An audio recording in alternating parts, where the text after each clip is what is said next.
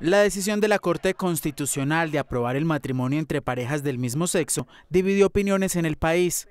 El expresidente y senador Álvaro Uribe Vélez se pronunció en Medellín en contra de la decisión. La Corte Constitucional suplanta al pueblo y al legislador. Su decisión sobre el matrimonio homosexual es más política e ideológica que jurídica. Para los líderes de la población LGBTI, posiciones como la del senador del Centro Democrático y el Procurador General de la Nación niegan la garantía de derechos para esta población. Por eso celebran que la Corte, una vez más, sea quien vele por la igualdad de sus derechos. Cada avance de cualquier grupo poblacional en esta sociedad por los derechos y por la igualdad es un avance para la sociedad. Ganó Colombia.